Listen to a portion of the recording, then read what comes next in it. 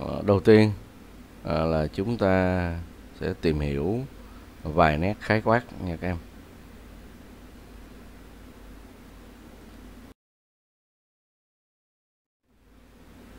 Ờ, đất nước chúng ta bao gồm có à, 54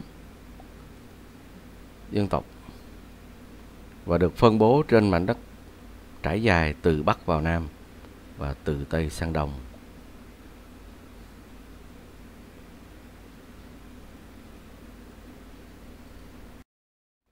À, các em hãy kể tên cho thầy biết tên của các dân tộc ở từng vùng miền ở phía tây bắc thì chúng ta có mường thái ở vùng đông bắc thì chúng ta có tày nùng hờ mông ở vùng đồng bằng thì đa số là chúng ta có dân tộc kinh à, chiếm đa số đông nhất còn ở tây nguyên thì chúng ta có các dân tộc như Ede, Yarai, à, Bana. Ở trong các uh, dân tộc kể trên. À, từ thời dựng nước và nhà nước thì các mối quan hệ của các dân tộc rất là kháng khích nha các em. Luôn kề vai sát cánh chống giặc ngoại xâm ừ, thiên nhiên khắc nghiệt à, để bảo vệ và xây dựng tổ quốc.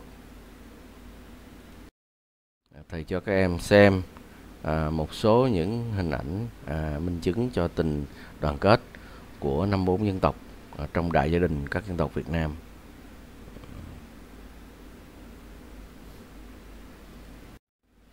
À, ngoài các đặc điểm chung ở sự phát triển kinh tế xã hội thì ở mỗi cộng đồng các dân tộc trên đất nước Việt Nam lại có những nét đặc sắc riêng tạo nên một bức tranh nhiều màu sắc phong phú sinh động cả về hình thức và nội dung của nền văn hóa dân tộc Việt.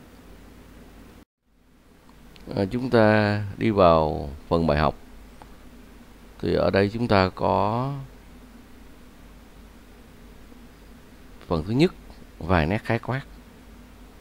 Và ở phần thứ hai là một số loại hình và đặc điểm của mỹ thuật à, các dân tộc ít người ở Việt Nam. Đầu tiên là chúng ta bàn về tranh thờ và thổ cẩm. À, phần A là phần tranh thờ. Thì ở phần tranh thờ thì có ở vùng phía Bắc nước ta để phục vụ việc thờ cúng. À, các em xem những cái vùng có có tranh thờ được các em ở miền núi phía Bắc nước ta có vùng Đông Bắc và Tây Bắc là quê hương của à, cách mạng Việt Nam. À, các em sẽ đọc và quan sát ở tranh minh họa sách giáo khoa à, trang 92 à, ờ, để trả lời câu hỏi tranh thờ của à, các dân tộc nào tranh thờ cổ của dân tộc Giao, Tày, Nùng.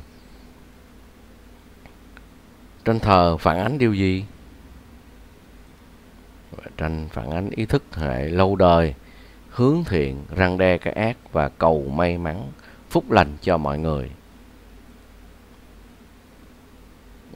Và tranh được làm như thế nào? Màu sắc lấy từ đâu? Tranh thờ có thể là tranh vẽ hoặc được in nét Màu sắc lấy từ màu tự tạo như nhựa cây sung, à, cây sơn. Tranh được dùng vào mục đích gì? À, phục vụ cho việc thờ cúng của các dân tộc ít người. Thầy cho các em xem tranh thờ của dân tộc Giao, tranh thờ của dân tộc Tày. Ờ, đặc điểm của dòng tranh thờ là phản ánh ý thức hệ à, lâu đời của các dân tộc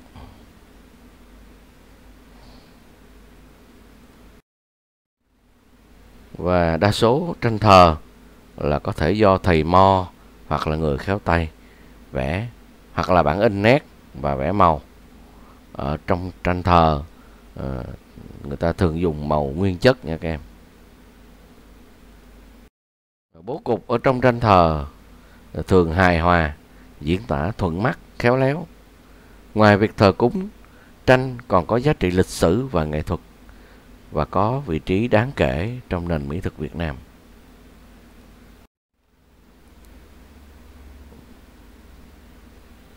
Các em lưu ý ở một số loại đặc điểm của mỹ thuật các dân tộc ít người ở Việt Nam. Thì tranh thờ và thổ cẩm. Thì các em ghi là à tranh thờ là tìm hiểu trong sách giáo khoa và chúng ta tìm hiểu thêm về à, loại hình thứ hai đó là à, trang phục của các dân tộc ít người. Và người ta còn hay gọi là bằng, bằng cái tên là thổ cẩm đó các em. Vậy thế nào là thổ cẩm? À, thổ cẩm của dân tộc nào? À, thổ cẩm là nghệ thuật trang trí trên vải của các dân tộc ít người như tày nung dao cao lan thái ed chăm thổ cẩm dùng để làm gì? Có đặc điểm như thế nào? Thổ cẩm dùng để làm vỏ chăn khăn phiêu cặp váy vạt áo vỏ chăn dây lưng. À, vân vân. Chắc lọc những đường nét khái quát của sự vật cách điệu và đơn giản hóa những mẫu vật thật rồi sắp xếp lại tạo hình tác phẩm à, và mang tính trang trí và có giá trị cao. À, thầy nhấn mạnh Ờ, thổ cẩm. Nó là nghệ thuật trang trí trên vải của đồng bào các dân tộc ít người. Màu sắc chúng ta thấy là đồng bào họ sử dụng ờ, màu sắc rất là ờ, tươi nhuận hình ảnh, họa tiết, hoa văn rõ ràng theo những cái hình khối, hình kỹ hà. Em xem thêm thổ cẩm của dân tộc Tày này.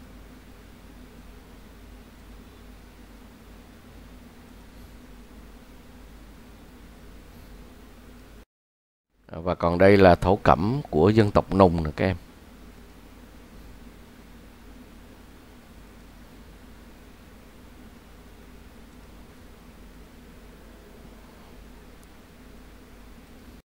còn đây là thổ cẩm của dân tộc Thái đây, các thiếu nữ Thái. Đội căng piêu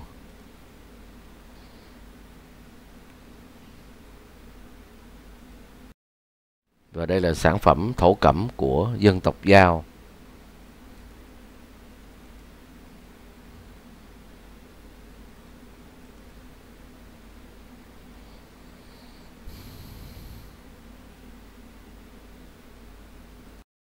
Và đây nữa, thổ cẩm của dân tộc sáng chay.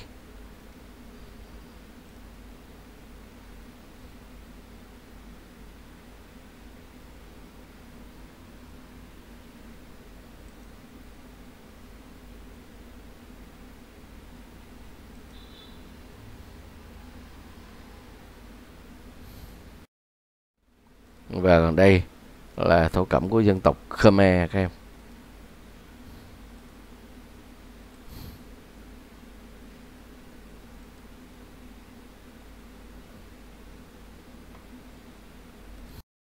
và đây là thổ cẩm của dân tộc Hờ Mông.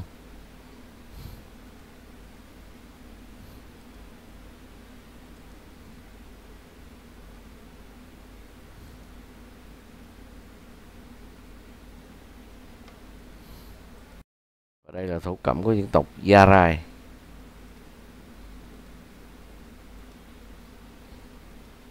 Thổ cẩm của dân tộc Ede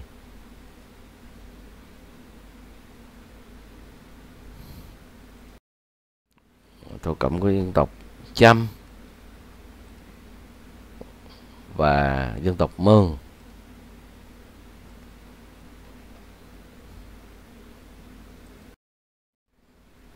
Ở trên các ờ, loại vải ờ, và người ta thêu uh, thổ cẩm thì chúng ta thấy rất là dễ nhận ra là họa tiết. Họ hay sử dụng hình các con vật hay là hình kỹ hà các em? Ở đây chúng ta có một số họa tiết trang trí là hình hoa lá cây cối nhà cửa. Và chúng ta thấy à, trên các à, sản phẩm thổ cẩm à, các dân tộc đa số là họ dùng màu sắc rất là tươi sáng các em. Và ở phần B thổ cẩm thì các em ghi thổ cẩm là nét đặc sắc của nghệ thuật trang trí trên vải của đồng bào các dân tộc ít người. Thổ cẩm dùng để làm chăn áo dài cặp váy dây lưng. Họa tiết trang trí ừ, người ta có thể à, diễn tả à, hình ảnh của cây cối chim muôn à, thú rừng và đặc biệt màu sắc luôn tươi sáng rực rỡ.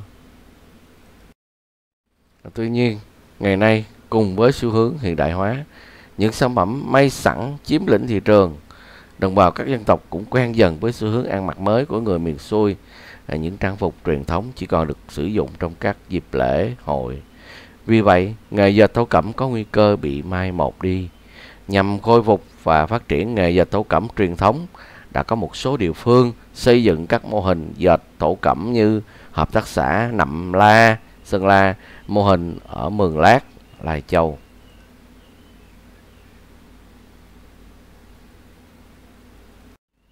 Chúng ta qua cái phần hai nhỏ. Sau khi chúng ta đã tìm hiểu về tranh thờ và thổ cẩm, chúng ta tiếp tục à, tìm hiểu về nhà rông và tượng nhà mồ Tây Nguyên nha các em à, chúng ta tìm hiểu sơ lược về địa chất thổ nhưỡng à, của vùng Tây Nguyên.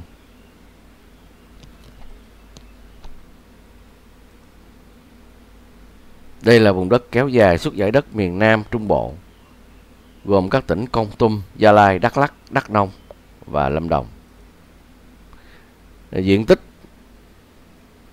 trải dài trên 54.475 km vuông dân số khoảng 4,4 triệu người à, theo thống kê số liệu ở năm 2002. Phía Tây giáp với Hạ Lào và Đông Bắc Campuchia là vùng duy nhất nước ta không giáp biển, đồng thời là vùng thưa dân nhất ở nước ta. À, có một số cây công nghiệp đem lại hiệu quả kinh tế cao. Còn khí hậu ở cao nguyên rất là mát mẻ phong cảnh thiên nhiên ờ, rất đẹp. Ở đây để cho các em xem thành phố Đà Lạt ở đây là hồ Lắc. À, ở xã Liên Sơn huyện Lắc tỉnh à, Đắk Lắk.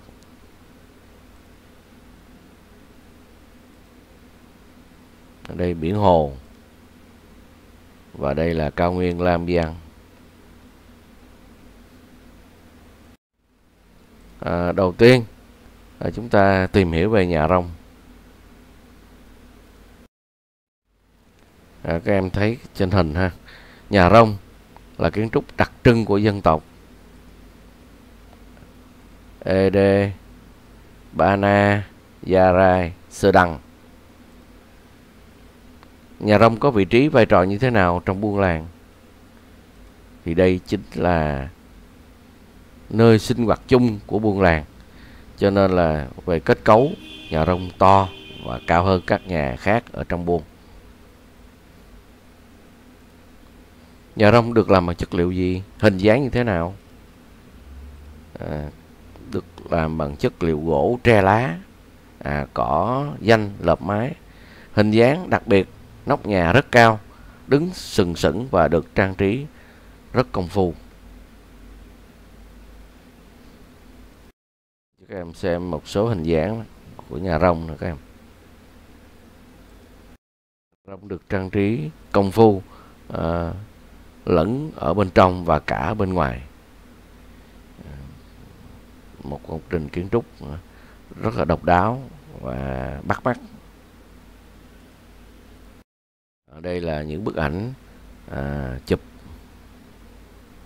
à, mái nhà à, bên trong à, nội thất của nhà rông sinh hoạt chung các em và đây là chúng ta thấy là rõ ràng đây là bậc thang à, để đi lên nhà rông được là thường làm bằng gỗ nguyên khối và được à, đục đẽo à, à rất à, khéo léo.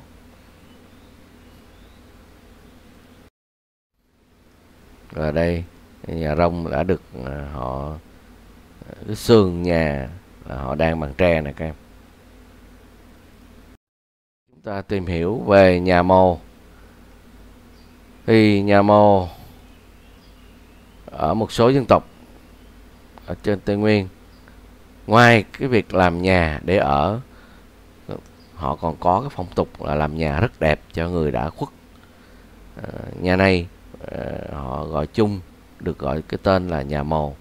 À, xung quanh nhà mồ được đặt rất nhiều tượng à, để làm vui lòng người đã khuất và tưởng nhớ đến họ. Đó chính là phong tục đã có từ rất lâu đời của đồng bào các dân tộc và thường là sau khi người chết được một hay ba năm, có khi đến 7 năm, người ta tiến hành làm lễ bỏ mã.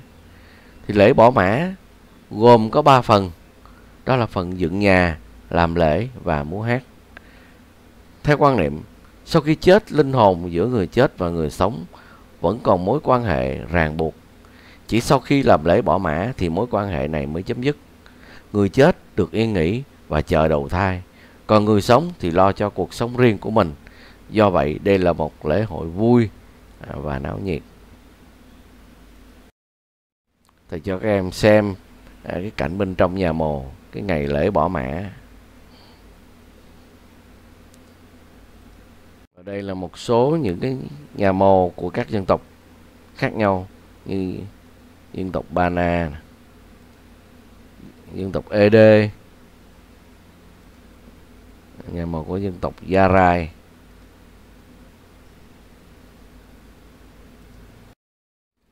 Cái tinh hoa nghệ thuật của nhà màu thể hiện ở kiến trúc trang trí và đặc biệt là điêu khắc gỗ ha các em? À, vậy chúng ta tìm hiểu nghệ thuật à, điêu khắc gỗ thì có gì độc đáo? Các em quan sát hình ở trên. Chỉ với cái rìu khúc gỗ bằng sự khéo léo và những tình cảm dành cho người đã khuất. Người tây nguyên đã đẽo thành nhiều bức tượng rất phong phú sinh động với ngôn ngữ hình khối đơn giản và tính cách điệu cao.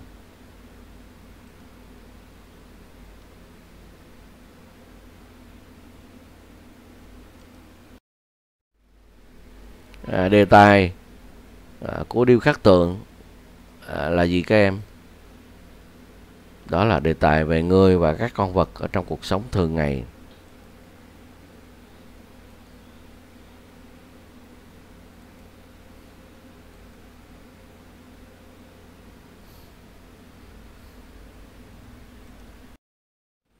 Vậy thì chính cái điêu khắc nhà mồ đây là một pho sử thi về cuộc sống xã hội và tự nhiên của núi rừng. Vừa cổ sơ vừa có nét hiện đại với ngôn ngữ hình khối đơn giản và tính cách điệu cao. Chúng ta qua cái phần tháp chăm và điêu khắc chăm à, người chăm sống ở vùng nào ở nước ta? À, chúng ta thấy là người chăm họ sống ở vùng duyên hải miền trung và nam bộ.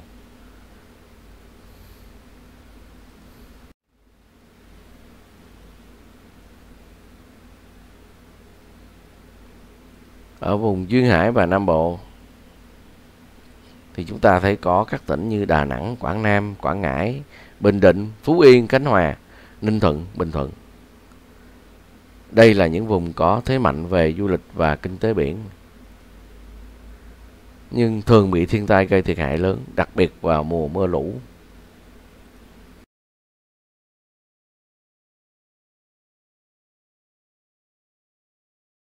À, thì cho các em xem tháp châm nè các em. Theo tiếng châm tháp champa được gọi là kha lăng nghĩa là lăng. Các lăng này được các đời vua châm xây dựng để thờ cúng các vị thần. Các vị thần được thờ phụng có thể là các vị thần ấn độ giáo tiêu biểu như thần Sinva gọi là thần hủy diệt hoặc còn có thể là các vị Phật tháp chăm cũng giống như một ngôi chùa ngôi đình ở Việt Nam. À, lễ hội KT là một trong những cái lễ hội rất quan trọng truyền thống lớn nhất của đồng bào Chăm ở Ninh Thuận. À, lễ hội được tổ chức mỗi năm một lần tại tháp với mục đích tỏ lòng thành kính đến các vị thần và dân lễ cúng tổ tiên với mong muốn quốc thái dân an, mưa thuận gió hòa, mùa màng bội thu, vạn vật sinh sôi, gia đình hạnh phúc. À, rút ra đặc điểm của tháp châm.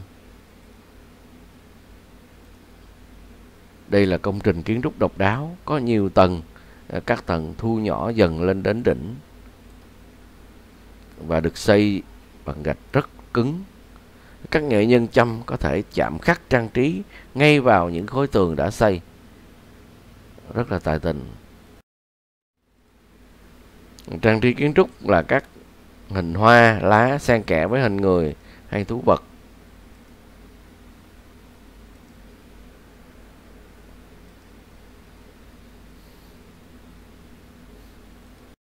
thì giới thiệu cho các em một số những tháp châm nổi tiếng. À, tháp châm là ở Ninh Thuận. Ở đây tháp um, Ponaga ở Khánh Hòa tháp Po Hài ở Bình Thuận và tháp Po Long ở thành phố Nha Trang. Và đây là tháp Ngạn ở Phú Yên. Tháp đôi ở Bình Định. À, chúng ta xem xét thêm đó là vùng thánh địa Mỹ Sơn. Đây là cái quần thể kiến trúc trăm gồm trên hơn 60 cái di tích đền tháp lớn nhỏ. Để thánh địa Mỹ Sơn đó các em. Mỹ Sơn thuộc địa phận tỉnh Quảng Nam. Đây là thánh địa Ấn Độ giáo của vương quốc Chăm Ba Cổ. Theo nghi lễ truyền thống, mỗi vị vua sau khi lên ngôi đều đến Mỹ Sơn làm lễ thánh tẩy, dân cúng lễ vật và xây dựng đền thờ. Có những ngôi đền dựa vào sườn núi bao quanh như hình vòng cung, rất là đẹp. Kết cấu ờ, của mỗi cụm đền thờ bao quanh là những ngôi tháp nhỏ hoặc công trình phụ.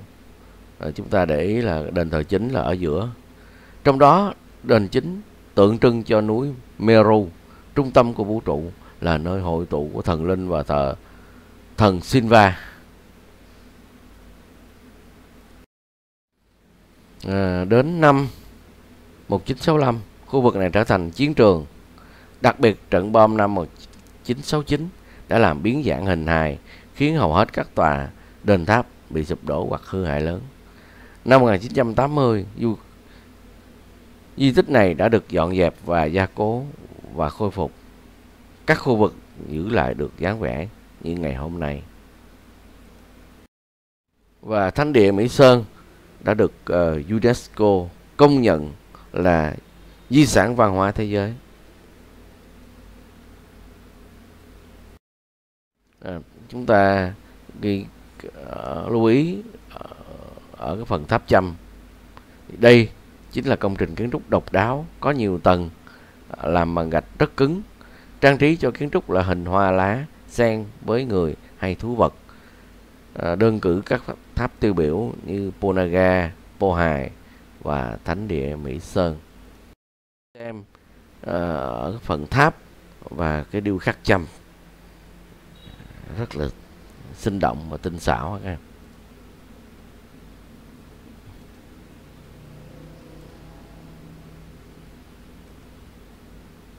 Một số nét tiêu biểu của à, điêu khắc châm là gắn bó chặt chẽ với các công trình kiến trúc. Tượng có cách cà tạo khối, tròn, căng, nhịp điệu uyển chuyển, gợi cảm, bố cục chặt chẽ.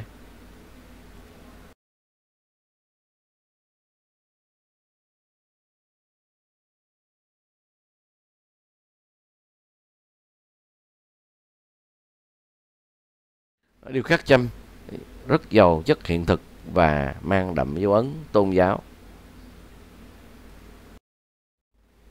Chúng ta xem một à, số những à, di tích à, đã được khai quật một số những phù điêu của vùng Champa chúng ta thấy có cái tượng thiếu nữ nhưng mà là đầu mình người nhưng mà là, đầu chim đang ngậm con rắn. Nói tóm lại thì qua bài học này chúng ta đã có một số hiểu biết nhất định về loại hình mỹ thuật của các dân tộc, người ở Việt Nam. Đầu tiên, đó là tranh thờ ờ, các dân tộc ở phía Bắc. Thổ cẩm, tây nung thái, giao, sáng chay ed chăm. Ờ, nhà rông và tượng nhà màu, các dân tộc tây nguyên, có ba na, gia rai ed sơ đăng và tháp chăm và điêu khắc chăm của chính dân tộc chăm. Ở phần hướng dẫn về nhà à, các em sưu tầm tranh ảnh bài viết về mỹ thuật các dân tộc ít người ở Việt Nam. À, chúng ta hãy chuẩn bị tiết sau. Đó là bài chạm khắc cổ đình làng Việt Nam. À, bài học của chúng ta đã hết. À, thầy thân ái chào các em.